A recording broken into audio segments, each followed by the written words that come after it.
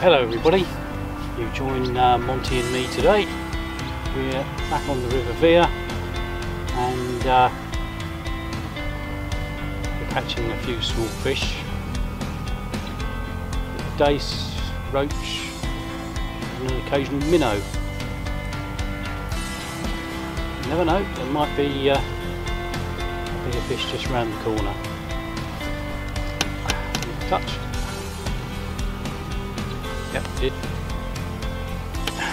That's what we're using. Uh, a little stick float, three foot, and uh, a single maggot, which has been truly chewed. Just a couple of hours out on the water.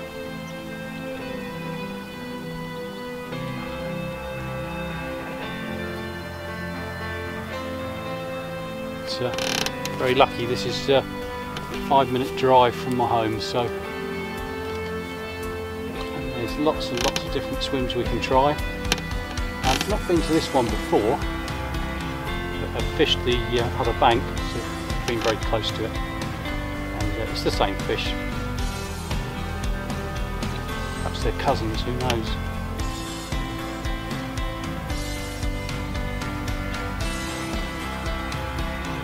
Dropping it into a little eddy, letting it go along a bit. And here we are, we're in there, into a fish straight away.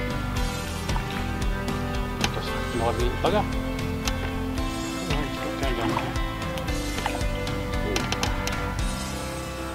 There we go.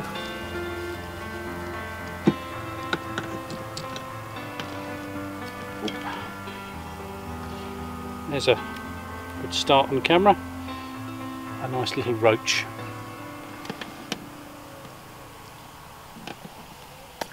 Back he goes.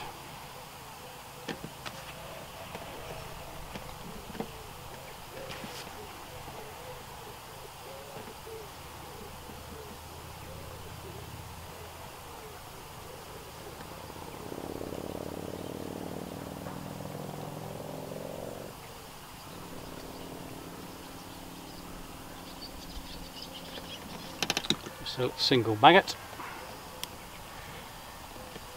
it in again. Just two rod lengths out. See what happens. So at the moment we're uh,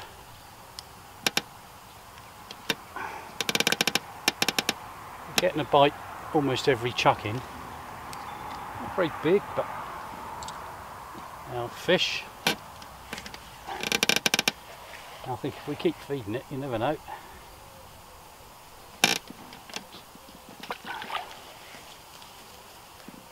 Something a bit bigger might come along.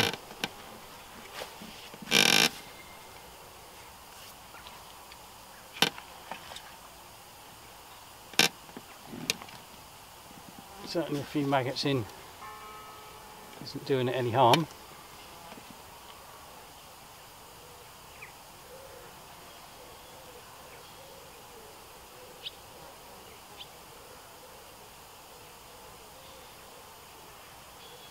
Saying that this will be the first cast in ages we don't get a bite but uh,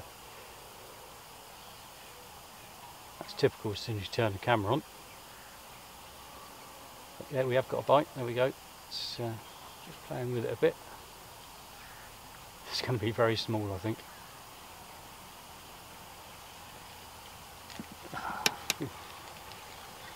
That small that we missed it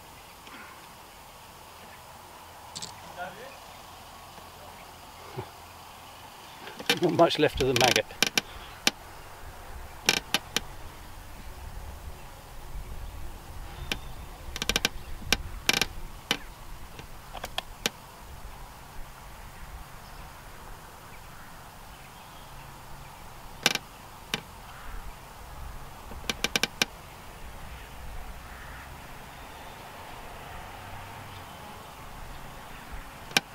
Just try a yellow one.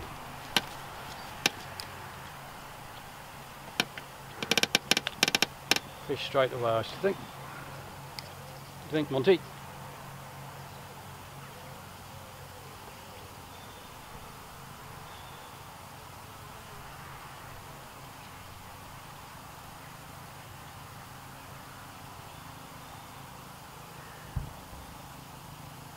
This time just put it into the flow, so I'm just going to trot it down a bit and drag it back into the eddy if we don't get a bite.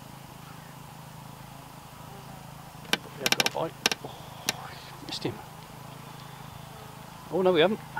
Oh, look at that. Got to get close to show you that. It's a minnow. What do you think of that then boy?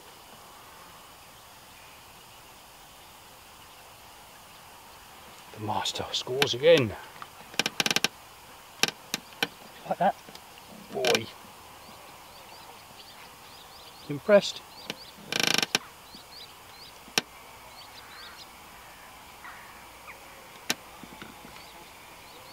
Surely there must be uh, in this stretch there's some uh, nice chubs, so you never know. Keep feeding a bit of bait in and uh, maybe uh, you'll get rewarded with something. Might actually need the landing net. But for now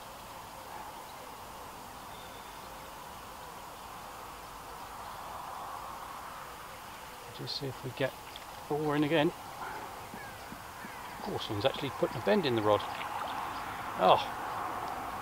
Hmm, would have done. Come off. Come off boy.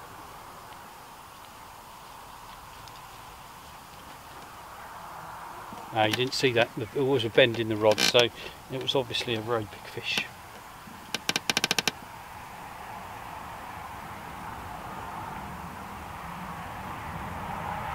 That's what we'll be telling people.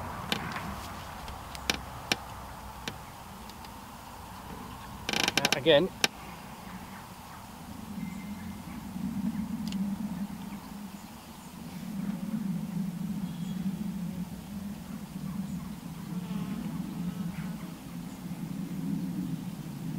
just on the edge of the, where the water's moving and the slack.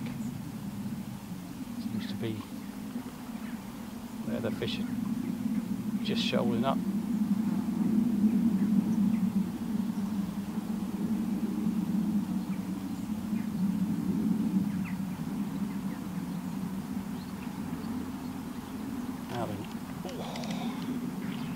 Cracking bite. Oh, we're in again. Look at that. There's no stopping us now. No stopping us. You think, boy?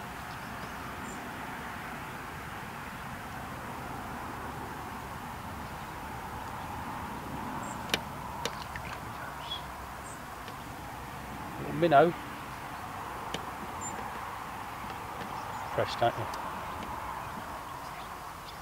Right.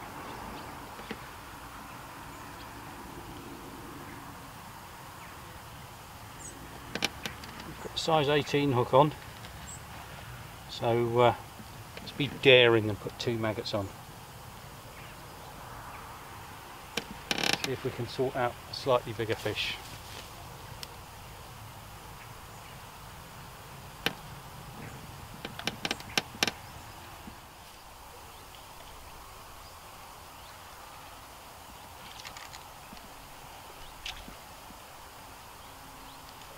dace I think, not really a chubby one. Lovely little fish. That's a nice roach. There we go. Look at that. And he decides to come off. Nice little roach. Back he goes. Having covered me in muck. Thank you fish.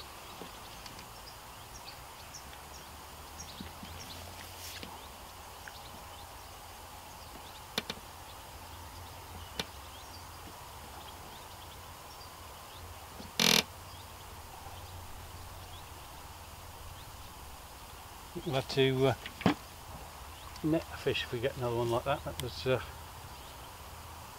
a bit of strain on the fish that we didn't need to do.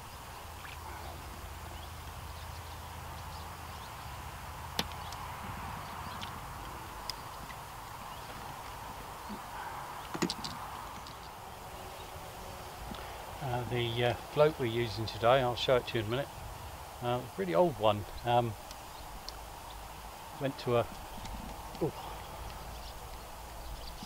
Oh. Missed it. Goodbye. Um, went to a car boot sale in France and uh, don't know if you can see that, I'll try and hold it still. This float is uh, very similar to the sort of thing we used to buy when I was a teenager and uh, it was in a box with um, some very similar floats from I would think from the 70s or 80s and um, this one hasn't got anything written on it but there was one very similar that uh, was uh, had the manufacturer's name Shakespeare on it. So long before the days of uh, modern stick floats uh, I went into a, a tackle shop in Southampton a couple of weeks ago and uh, said explained what I wanted for stick floats and uh, they uh, didn't keep much of a range um, not something perhaps people do very often back in England or off to carp fisheries but uh, here in France the river is very close to where I live so this is the sort of fishing that I did in my youth which uh, I'm still enjoying today.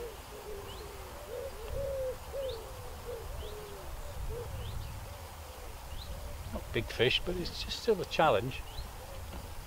You never quite know, you can be trotting away like this and catching little roach and all of a sudden a, a chub will snaffle it. And uh, that bit of excitement of not knowing really.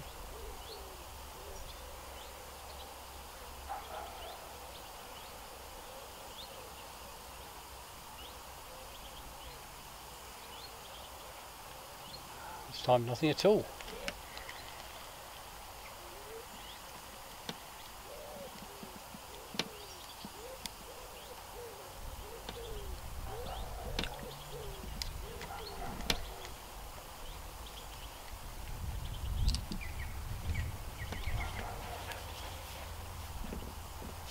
few maggots in.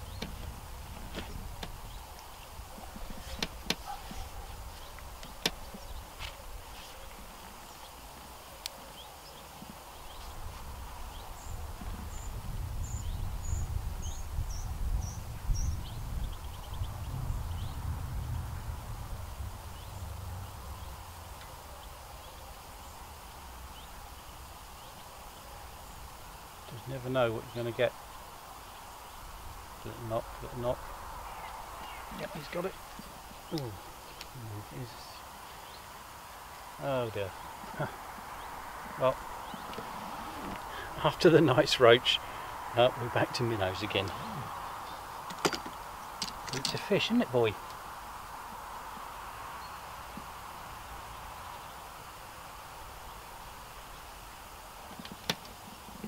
Back he goes.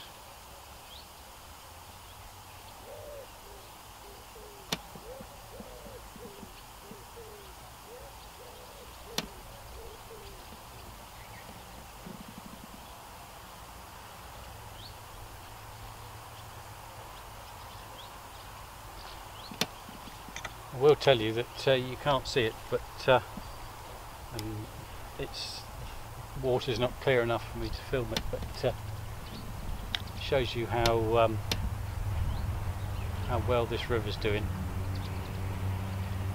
Every time I catch a fish, I change the maggot, and I throw the old maggot just down in front of where Monty the dog is, and uh, instantly the small fry gather around it and pull it to pieces by the look at the size of them, they're probably this year's.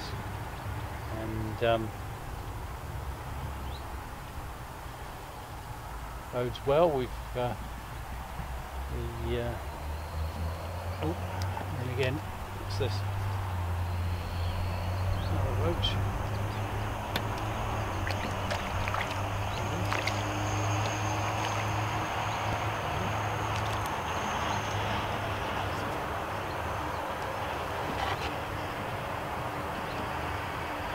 just a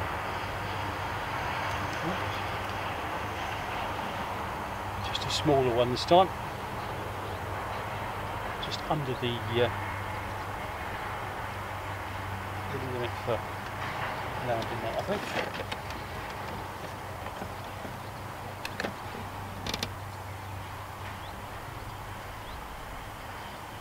What my friend Frank would call a swinger inner.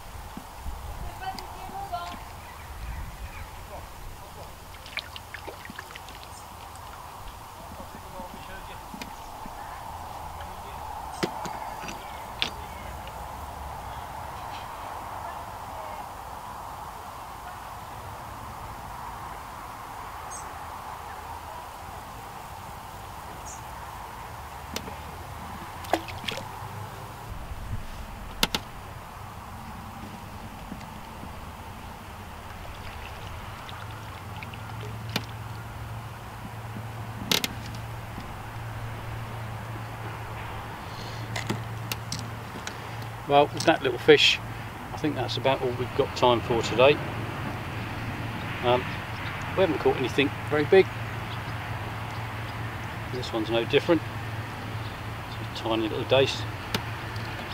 I hope you enjoyed watching our afternoon out on the River Vire and uh, you'll join us again shortly.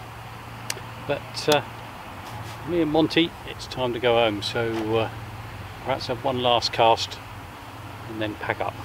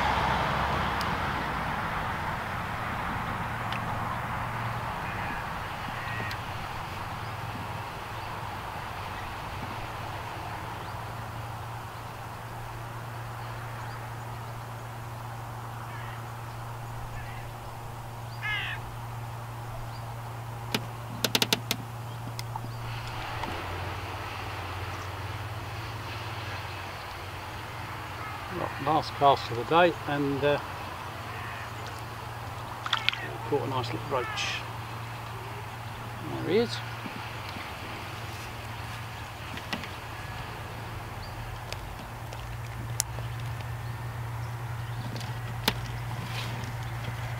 Lively little fellow.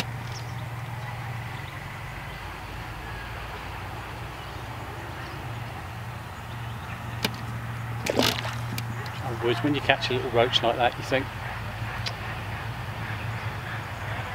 maybe we'll have just one more.